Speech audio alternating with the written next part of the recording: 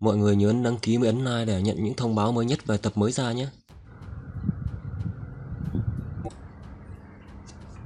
Sáng sớm hôm sau, trong rừng ở vạn yêu giới,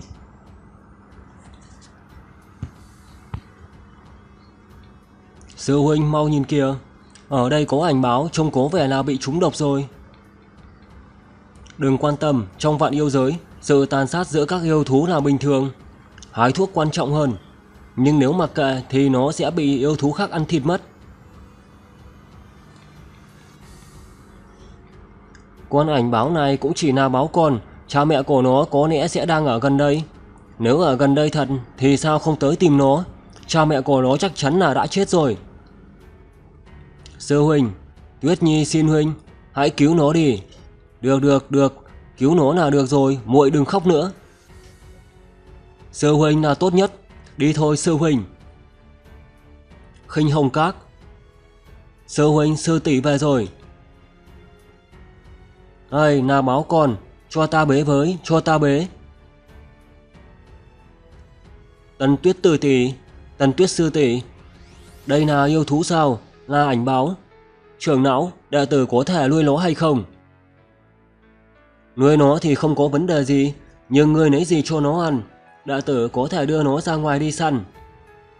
300 năm trước, lúc vị đại nhân đó trồng cây thế giới ở đây, đã từng giao ước với các đại yêu thú ở nơi này, hai bên chung sống hòa bình, không được tùy tiện ra tay với đối phương.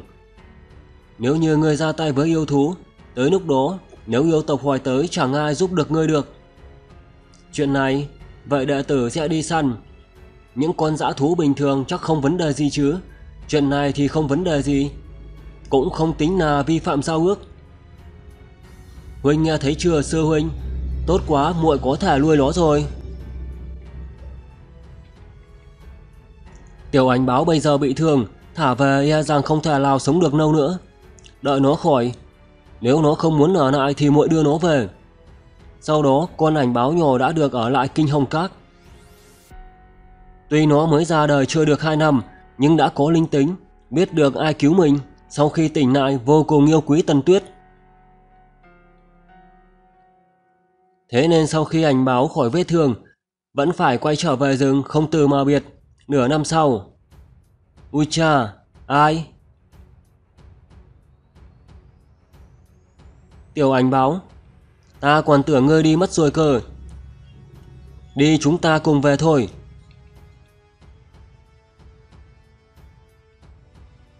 Hàng trăm năm sau. Là tiếng của ánh báo.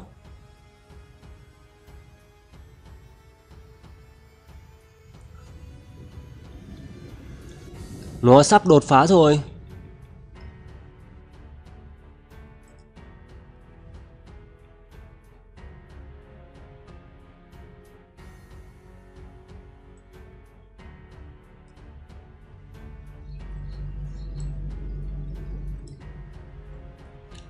Trong rừng, nhớ lại mấy trăm năm trước, vị chủ của tinh giới gieo xuống cây con của quả thế giới. Trách trời thương dân, truyền cổ pháp ở trong vạn yêu giới, từ đó lựa chọn cổ pháp, yêu tộc đột phá không đếm hết. Thời cơ đột phá mà bọn họ đối diện nguy hiểm vạn phần. Ảnh báo là một tay mình nuôi lớn đã trở thành một yêu vương. Bây giờ chính là lúc mấu chốt để nó đột phá, tuyệt đối không thể nào để xuất hiện bất cứ sai sót nào. Là nội đan của yêu tộc.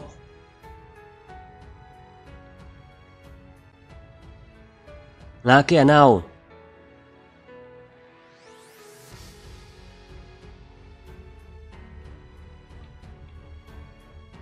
Ban Thạch Sa Vương Ban Thạch Sa Vương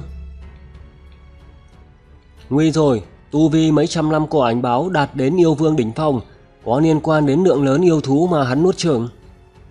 Cái khác không nói, con cháu của bàn thạch xà vương bị nó ăn hơn một nửa, bàn thạch xà vương hận thấu xương. Nhân tộc, ngươi dám ra tay với bổn vương sao?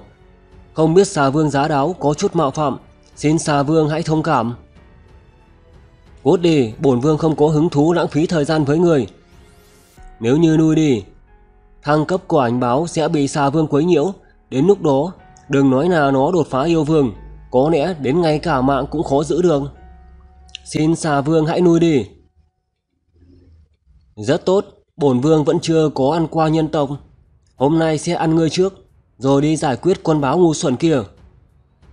Không được, nếu như mình không dốc hết toàn lực, căn bản là không ngăn được đối phương, rất có khả năng đến ngay cả tự bảo vệ bản thân cũng không làm được. Xà vương đắc tội rồi. Xà vương, ngươi. Rất tốt Minh ước đã phá. Các yêu vương còn không nhanh chóng đến đây. Đây là nhân tộc các người Dẫn đầu phá vỡ minh ước. Cho dù bị giết cả tông môn, Cũng không thể nào trách được yêu tộc chúng ta. Không hay, Tối nay bàn thạch xà vương đến quấy nhiễu ảnh báo thăng cấp, Không chỉ là thù riêng Lại còn là một âm mưu nhắm vào nhân tộc. Khinh hồng các Mẹ ở bên kia. Tần tuyết hồ đồ sao lại dám ra tay với yêu vương? Ta phải đi đưa cô ta về ngay. Trưởng não không thể đi, Báo vương đang còn thăng cấp. Xà vương đó có thù với nó? Trưởng não nếu như đưa mẹ về, Báo vương nhất định là sẽ chết. Nếu như ta không đưa mẹ ngươi về, Mẹ của ngươi nhất định là cũng sẽ chết. Nếu như cô ấy bị yêu vương giết, Kinh hồng các đến ngay cả năng lực báo thù cho cô ta cũng không có. Tránh ra. Làm thế nào bây giờ? Như vậy thì sao mà tốt chứ?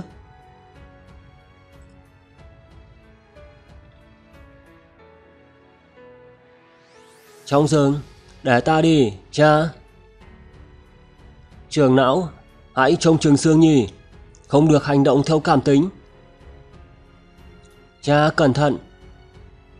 Chuyện này hôm nay e rằng không tốt rồi, có mấy người chúng ta tọa chấn, kinh hồng các có lẽ không sao. Nhưng con yêu vương kia cũng không ngu xuẩn đến mức đánh đến Sơn Môn. E rằng sẽ kinh động đến tình hình của cả vạn yêu giới. Nếu như để các yêu tộc xem nhân tộc là kẻ thù, vậy kinh hồng các ta thó thoát, khó thoát khỏi cái chết. Không sai, chuyện này phải bấm máu lại với bên năng tiêu cùng, để bọn họ nhanh chóng phái người đến xử lý. Tuyết Nhi, ta đến giúp nàng. Lại có thêm một người đến, rất tốt. Bổn vương biết Loại sinh vật nhân tộc nào ngu xuẩn nhất? Không uổng công ta thuyết phục các yêu vương khác cùng nhau hành động. Xà vương, chuyện ngày hôm nay kết thúc ở đây thế nào?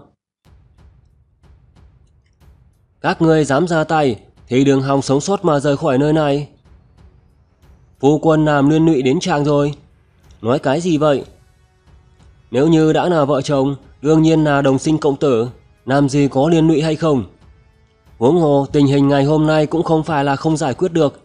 Ý của phu quân là Nếu như báo vương có thể thăng cấp thành công, Có thể bảo vệ cho chúng ta. Là thiết dực ưng vương. Ứng vương đến rất đúng lúc. Hai nhân tộc này, Chúng ta mỗi người một tên. Ăn no rồi đi giải quyết quân báo ngu xuẩn kia. Nội đan bị lứt rồi. Ảnh báo đủ rồi. Ngươi hãy nhanh dừng lại đi. Nếu còn tiếp tục e rằng sẽ nguy hiểm đến tính mạng đấy. Ngươi vẫn nên lo lắng cho bản thân mình trước đi.